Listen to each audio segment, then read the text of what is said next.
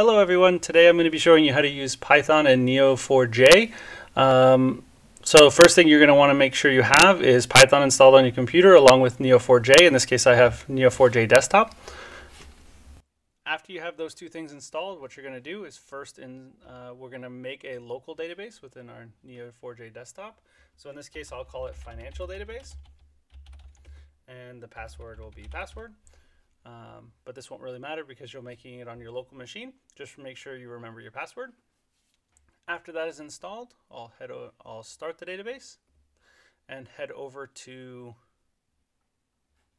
Jupyter Notebooks to continue. Here's the Jupyter Notebook I'll be using for today. Um, you'll be able to find a link to this in the description um, below. Um, there's three components of this uh, notebook that I want to point out. The first one is I wanted to generate financial transactions and use Neo4j to visualize financial transactions in an easier way. Normally within the SAP systems or Oracle systems, those are relational databases, so you have to pull data out in a relational database way, which means you just have whatever transactions you want in a list. Um, which is really interesting and you can do a lot with that, but the graphical component is missing. So first off, um, for those who don't know anything about financial transactions, there's kind of uh, a few things that are in every financial transaction. A transaction ID, uh, a vendor number or customer number, a transaction amount, um, different transactions types. Again, this is nothing what you're going to find in Oracle or uh, SAP. The, the general ledgers for those systems are much more complicated, but I didn't want to bore anyone with accounting um, before we even got to the Neo4j part. So first what I wanted to do and what I did is I generate a list of um, 50,000 transaction types. I used the random package to generate uh, vendor numbers. So uh, this is just going to be a random number, 50,000 random numbers between 1 and 2,500. This will uh, act as like a vendor number or a distinct number to an account. Um, the transaction amount will be, again, a random digit between 2 and 1.2 million, and I wanted 50,000 of those. Then next what I wanted to do is I wanted to make a list of 50,000 random transaction types, um, which I do here. So in this case, um, I just create a list of 50,000 random numbers between 0 and 3, and then I iterate over those random numbers to um, assign random transactions um, to a transactions list. So in that way if, uh, for example, the first item in my list is zero, then I'll pull out cash withdrawals. If the next number is two, then I'll get domestic transfers. And I it's just a way to get a list of uh, 50,000 random transaction types. Next, what I do is I convert everything into a uh, dictionary because I want to show you what this looks like uh, within a pandas data frame. So in this case, if I do, let me print uh, just like the, let's just print the first one. You can see that um, what my data frame has is a transaction ID, vendor, transaction amount, and, tran and transaction type, exactly what I need. In the, the next section, you can see I, I included a, a, a few lines to help import this data into a MariaDB database. So in Neo4j, there are some limitations on in regards to the programming that you can do in order to make um, relations between um, different nodes. Um, so it's helpful to have things in a relation relational database in case you want to use that as a basis to write further uh, relations within your Neo4j database. I'll get to that in a little bit, um, but I just wanted to include that here uh, in case anyone wanted to upload this, you know, the data that the, the fake the fake financial data they made in the previous section. If they wanted to upload it into a MySQL database, they could do that using these. Of course, you need to change your database name, password, um, and the user uh, and the table that you created.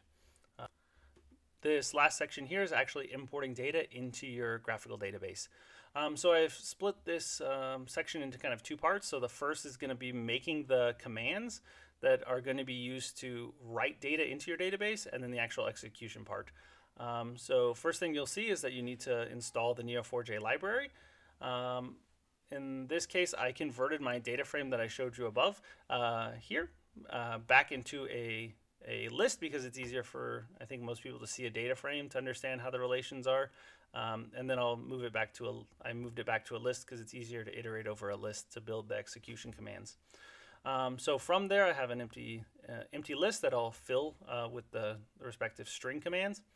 So next, what I do is I just iterate over the list commands and I use this normal Cypher text. So it's create and then the node, in this case, the node uh, transaction. You can have a pseudonym here or not. It doesn't really matter in this case.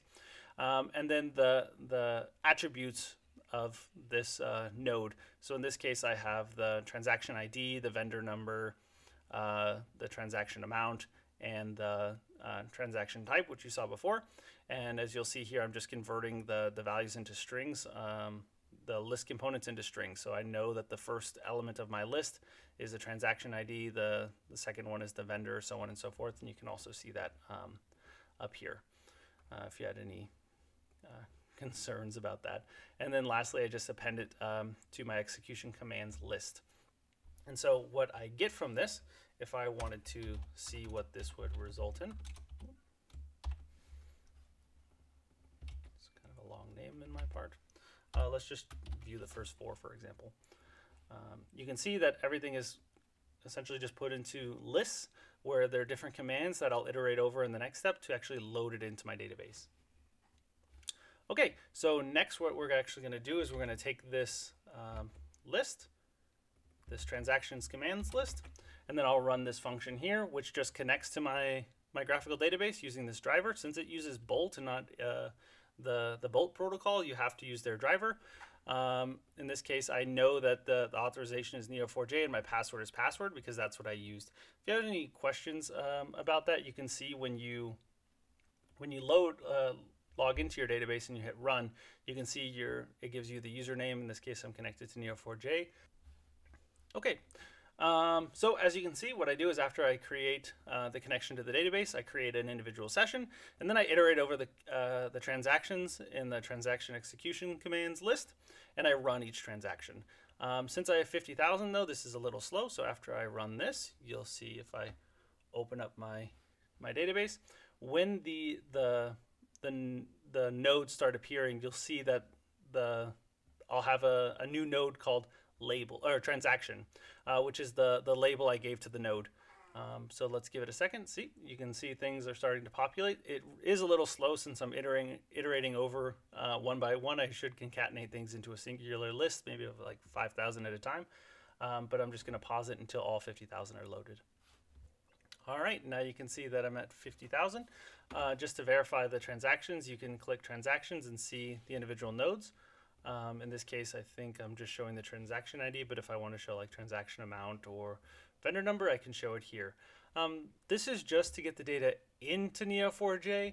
Um, if anyone's interested, I can make um, another video on how you actually use this data to make to get like usable insights. Because right now this actually just shows um, transactions individual each transaction it's an individual node like there's no real knowledge gain from doing this um, but in the end this is just kind of how you get data in uh, in a next video I'll show how you can use Python to further enrich your data within Neo4j in in ways that you can't do internally like you can't use certain Neo4j has a lot of awesome components and a lot of a little bit of programming that you're able to do but there are some uh, fundamental things that Neo4j is limited in doing that Python can support in.